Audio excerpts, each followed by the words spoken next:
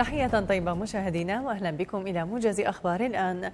أعلنت وزارة الدفاع المصرية أن الطيران الحربي المصري نفذ ضربة جوية مركزة على مواقع لمتشددين في ليبيا تأكدت مشاركتهم في تخطيط وتنفيذ هجوم على أقباط وقع أمس الجمعة في صعيد مصر وأسفر عن قتل 28 شخص وأضاف الجيش المصري أن عملياته مستمرة. صرح رئيس اللجنة العلمية العسكرية التابعة للقوات المسلحة الروسية الجنرال إيغور ماكوشيف أن الخبراء العسكريين الروس أجروا خلال العام الماضي اختبارات على استخدام أكثر من 200 نموذج من الأسلحة في سوريا.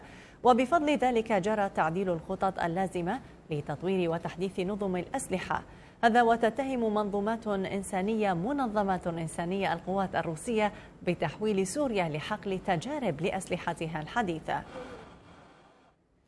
أطلق الجيش العراقي عملية واسعة لاقتحام المدينة القديمة في الموصل لاستعادة آخر مواقع يحتلها داعش في المدينة. وتمكنت القوات الأمنية العراقية من اقتحام أحياء الشفاء والزنجيل والصحة الأولى بالإضافة إلى المستشفى الجمهوري في الساحل الأيمن للمدينة. قتل 18 شخصا على الأقل وأصيب ستة آخرون بينهم طفلان في انفجار سيارة مفخخة عند موقف حافلات لقوات الأمن في خوست شرقي أفغانستان.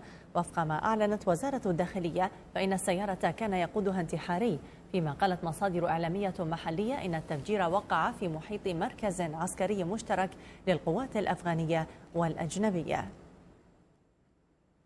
أوقفت الشرطة البريطانية مشتبهين آخرين بعد قيامها بعملية تفجير تحت السيطرة خلال عملية دهم في مانشستر في إطار التحقيق حول الهجوم الذي أوقع 22 قتيل.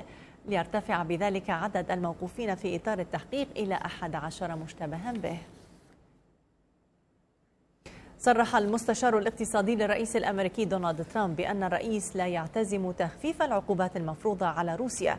وكانت الولايات المتحدة والاتحاد الأوروبي فرضا عقوبات على روسيا بسبب الصراع في أوكرانيا وهي عقوبات يرغب الكرملين في التخلص منها.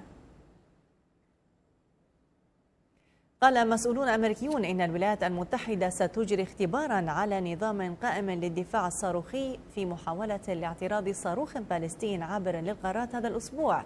في وقت تحاول فيه كوريا الشمالية تطوير مثل هذا الصاروخ. وتمثل هذه التجربة المقرر إجراؤها يوم الثلاثاء المقبل. أول مرة تختبر فيها الولايات المتحدة اعتراض صاروخ باليستي عابر للقارات.